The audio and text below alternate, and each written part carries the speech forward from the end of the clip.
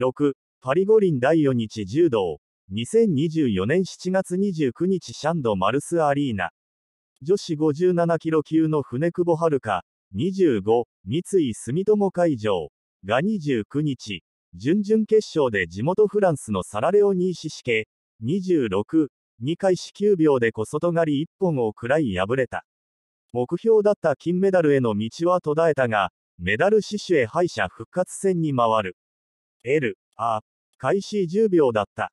完全アウェーの中、組合主導権を争う中で船久保の体が倒れた。会場が騒然となる中、シシケの一本勝ちがコールされると再び会場に地鳴りのような大歓声が湧き、船久保は呆然と立ち尽くすしかなかった。初舞台の初戦で、寝技のスペシャリスト、らしい戦いを見せ勝利をつかんだ船久保。2回戦では、旧東新モデル柔道家、として日本でも知られるビロディドを7分間の消耗戦の末、相手の指導3つによる反則負けで制した。序盤の大一番を制した船久保だったが、準々決勝で無念の敗戦。開会式前に、初めてのオリンピックで不安や緊張はありますが、悔いのないよう全て出し切り、金メダルを獲得します。と語っていた夢は破れたが、メダル獲得へ意地を見せる。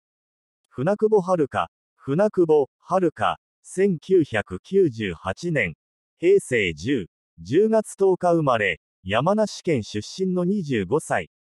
山梨、富士学園高を経て17年4月から三井住友会場所属。6歳で地元の大霞スポーツ少年団で柔道を開始。高校時代は2、3年でインターハイを制し、世界ジュニア選手権は15、17、18年と3度制覇の快挙。シニアの国際大会でも21年以降に結果を出し、世界選手権は22、23年と連続2位。